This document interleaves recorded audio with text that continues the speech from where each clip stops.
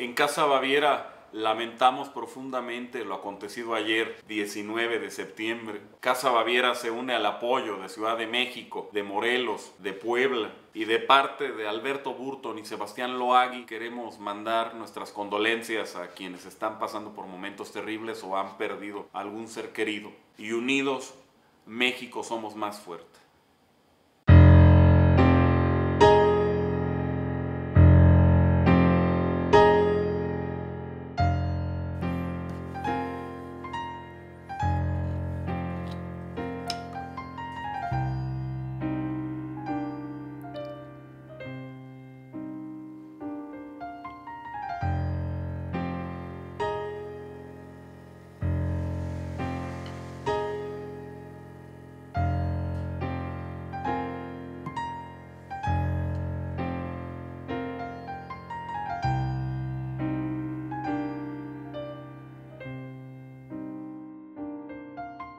Esta tarde tengo el privilegio de presentar a mi querido colega, compadre, amigo y hasta Alberto Burton. Alberto, ¿cómo te trata la vida? ¿Todo bien y a ti? De maravilla, miren este difícil trabajo que es catar cerveza. Hoy con una cerveza súper pedida por todos los beer lovers. Vendría siendo la famosísima Superior. Bueno, ni tan famosa porque yo nunca había escuchado de ella hasta que nos la pidieron demasiado en los comentarios. Así es. Lleva meses que nos llevan pidiendo la misma cheve, Superior, Superior, Superior pues es la rubia que, todos queremos. Así es, la rubia que todos quieren, un eslogan precioso.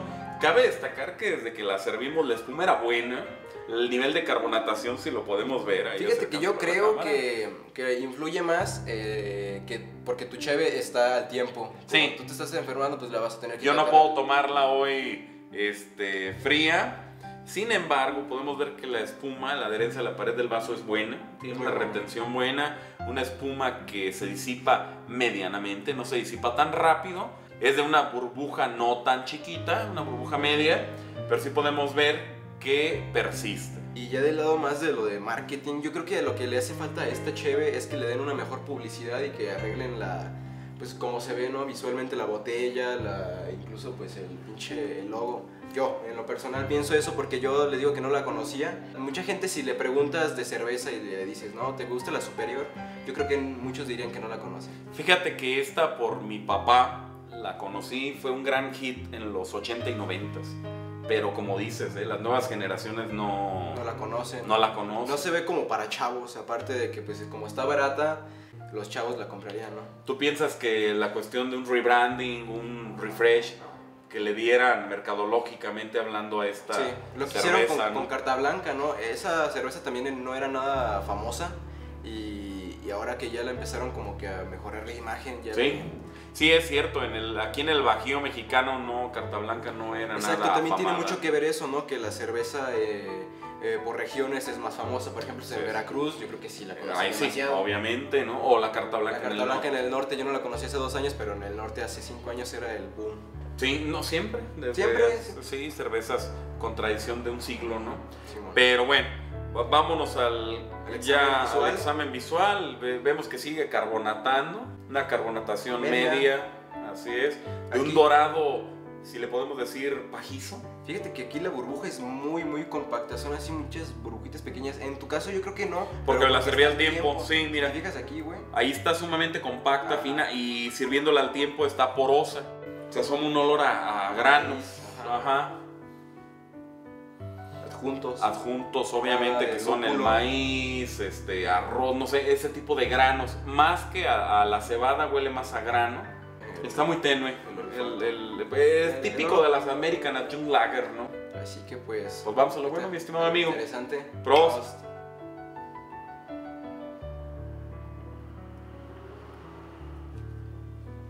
Es que sabe a la carta blanca, güey. Yo, ya eh, según yo, es la competencia de carta blanca. ¿Y son de la misma compañía? Ah, sí. Es que. ¿No será el mismísimo estilo? Porque, por ejemplo, no es lo mismo una carta blanca a una 2X Lager. No. Ahí hay ciertas diferencias y te lo juro que esta, hasta el mismo envase, la... Oye, sí es cierto, ¿eh? Creo que ese nomás cambia la etiqueta. La etiqueta, ah, la etiqueta también es blanca. Y también en carta blanca dice siempre en rojo. Esta es la carta blanca, pero en otro. Más barata, dos baros más barata, creo. De otro estado, ¿no? Cuesta como que 3 dólares el 6. Menos, como. Menos. Dos y medio. Ándale. No está, no está tan cara. No, no, no. Pues bueno, en el... Híjole, pues... A ver, vamos a darle otro trago. De hecho, sí, ni siquiera analizamos eso. No, es que e- es sumamente ligera, la verdad. No se asoma nada de amargor de lúpulo. Por ahí queda acentuado más el malteado de algo de cereal. El picor es algo medio. ¿no? Sí, no, no, no, realmente ni siquiera se siente la carbonatación. Está muy así, ¿no? aceptable. la- Bueno, a mí me gusta que sepan así, porque después hay ciertas cervezas como la Michelot que, que te saben muy picantes, pero no te saben a nada. Era una agüita mineral. Y esta al esta menos sabe a- sabe adjuntos a su maíz, ¿no? A su pinche arroz, pero está bueno. Un caldo de, de adjuntos, ¿no? Por lo que pagas, pues está bien. Está aceptable, ¿eh? está aceptable, creo ¿Cuánto que tiene de alcohol? para el precio. Mira, si se parece en alcohol a la carta blanca, sí es la competencia. Aunque sean de la misma. 4.6, creo que la carta blanca también tiene como 4.4 por ahí. Sí, sí. Ahí van de la mano. Si estas no llegan al 5, ¿eh? No, no, para nada. Pero la, aquí puedo ver que en el vaso se adhiere a la espuma. Sí, sí, la adherencia es buena, ¿eh? la retención ahí. Y la adherencia a la pared del vaso es regular, sí, bueno. Incluso en la botella ahí se queda tantito, pero Sí. visualmente es muy atractiva.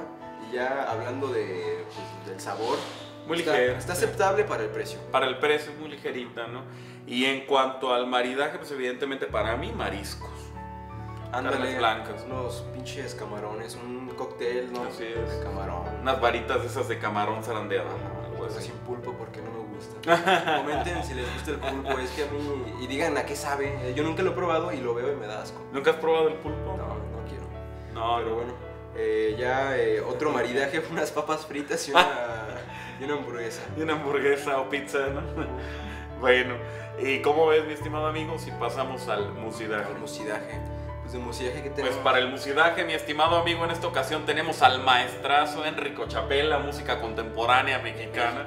Así es, ahorita que estamos pasando por momentos difíciles, rescatar la grandeza de México, que dijimos juntos y unidos somos más fuertes los mexicanos. Sí, yo me acuerdo que ya tengo como unos dos años que no lo escucho. Nada, no te creas, como uno. Porque yo lo pasé a mi computadora la Sí. vez que me lo prestaste. Sí. Y es música contemporánea que tiene eh, cuerdas, ¿no? Así es, es una orquesta guitarra, de ¿no? cuerdas, por ahí también de percusiones, pero y también de guitarra, son diferentes obras. Eh, aquella que él, él se basa mucho en cuestiones, dice él, de gastronomía de foco, ¿no? Como lo que es gastronomía de foco en el sentido de que siempre hay un carrito de tacos debajo de, de una lámpara de la calle. Y por ejemplo, en esta obra que se llama La Megambrea, que es como de la mendigambre, tiene tres movimientos, mira, de sesos, de tripa y de moronga. Ajá, sí, ¿no?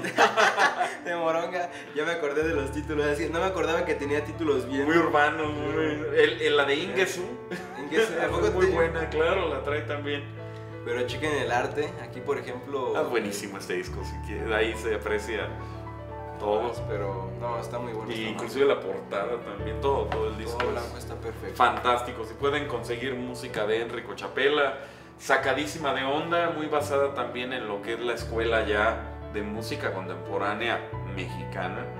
Grandes, grandes compositores que hay en la música contemporánea mexicana, claro que sí. Pues ya pasando a la calificación, ¿qué te parece si me pasas el pizarrón mamalón? Así es, mi estimado, pues cabe destacar que es una cerveza que la tenemos que evaluar como las American Action Lager, una cerveza que en el costo, en el mercado es la más económica en México, brincándonos la gallo de Guatemala, eh, quizá le haría competencia por ahí en económica la Cluster Light y para la de contar, Tropical Light.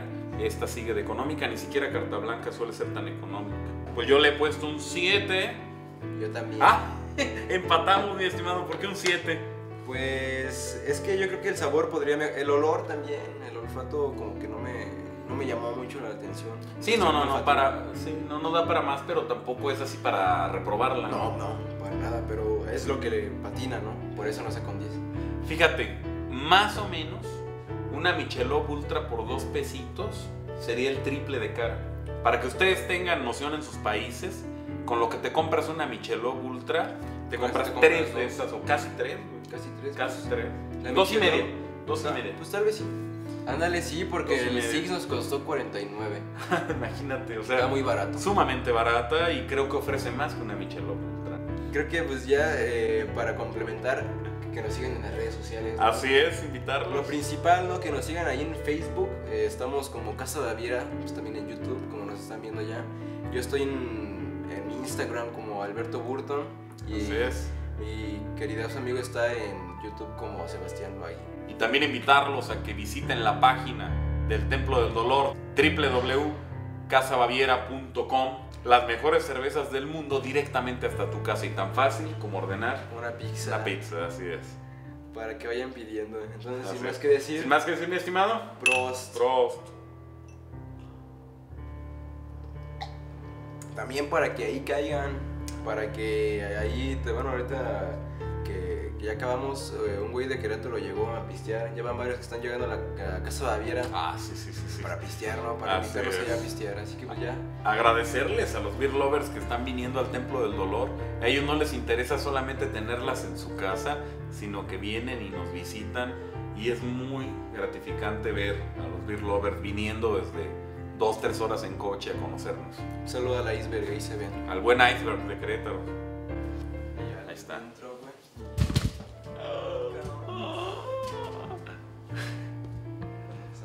La vi. se movió mucho?